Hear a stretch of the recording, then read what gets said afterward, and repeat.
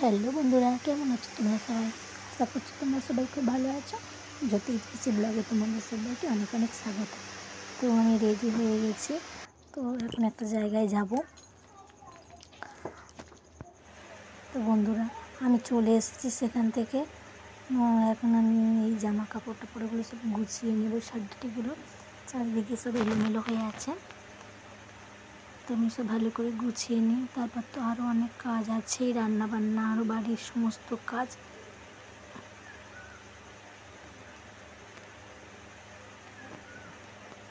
তো বিছানা টিছানাও সব ভালো করে গুছিয়ে নেব।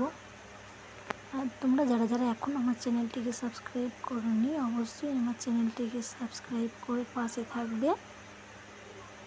যাতে পরবর্তী সময়ে আমি নতুন নতুন ভিডিও দিই, তোমরা তাড়াতাড়ি দেখতে পাও।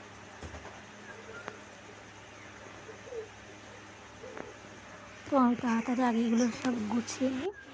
তারপর তোমাদের দেখাচ্ছি। দেখো, বিছানাটাও চারিদিকে সব এলোমেলো হয়ে আছে। আগে গুছিয়ে নিই। তো আমি সব ভালো করে গুছিয়ে নিয়েছি বন্ধুরা। দেখো, আমি বিছানা টিছানা সব ভালো করে গুছিয়ে নিয়েছি। তো এবারে আমি রান্না বসাতে যাব। তো বন্ধুরা, আজকের রান্নাটা আমি তোমাদের দেখাতে পারলাম না, কারণ আমার তখন ফোনে চার্জ ছিল না। তো আমি তখন চার্জ দিয়ে দিয়েছিলাম। তো আমি তোমাদের দেখাচ্ছি যে আমি এখন কী কী রান্না করলাম। দেখো, এখানে আমি ভাত রান্না করেছি আর ওখানে দেখো একটা আলু দেখা যাচ্ছে, আলু আর উচ্ছে আমি ভাতে দিয়েছি। আর এখানে দেখো আমি মাছ ভেজে রেখেছি।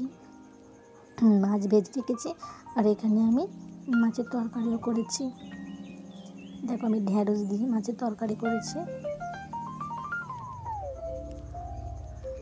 তো এই হলো আজকের আমাদের রান্না। তো দেখো সকালবেলায় বৃষ্টি হচ্ছিল আর এখন একেবারে বৃষ্টি হয়নি। বৃষ্টি থেমে গেছে। দেখো চারিদিকটা কত সুন্দর লাগছে, হাওয়া দিচ্ছে খুব সুন্দর। আর আকাশটা হালকা হালকা মেঘলা। তো বন্ধুরা, আমাদের খাওয়া দাওয়া একেবারে কমপ্লিট হয়ে গেছে। আর এখন বিকেল হয়ে গেছে। তো আমি এরকম দেখো বসে আছি। জানলার ধারে বসে এখন আমি একটু হাওয়া খাচ্ছি। তো বাইরে থেকে খুব সুন্দর হাওয়া দিচ্ছে।